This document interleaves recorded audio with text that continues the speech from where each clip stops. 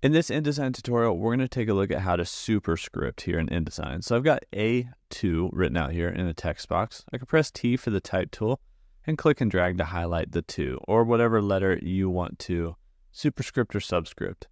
So an interesting and honestly annoying feature that I would probably turn off, but just happened to pop up here is this little glyphs panel. So technically there's a subscript and superscript icon right here I, I don't like this panel. It gets in the way. I would turn it off in settings anyway. Um, so you can click that if you want, but I'm going to show you how to actually do this. So when we highlight this, we come over here into our properties panel and we have a character panel in here and we have more options in the character panel. And once we click that, we actually do see a superscript option right here.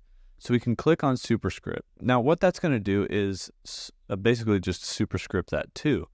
And if that's good enough for you, that's great. But if you want to make edits to this, like how high up or um, low, gosh, how how far up and down it is placed versus left and right, and also the size of the two, then I need to be able to show you how to do those things.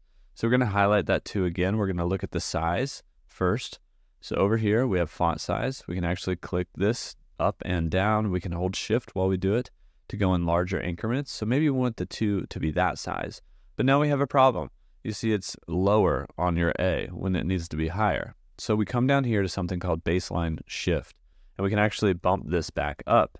Once again, I can hold the shift key while I click that to bump it up in larger increments.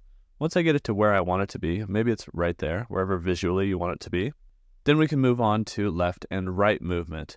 So if we look here, maybe the 2 is a little bit further away from the A than we want, so we can click between the two, get our little uh, flashing cursor, and then we can come over here to kerning, and that's the spacing between letters. I'm going to hold shift again while I click the down arrow to uh, reduce some of the spacing between the 2 and the A. So we can just place that in there exactly where we want.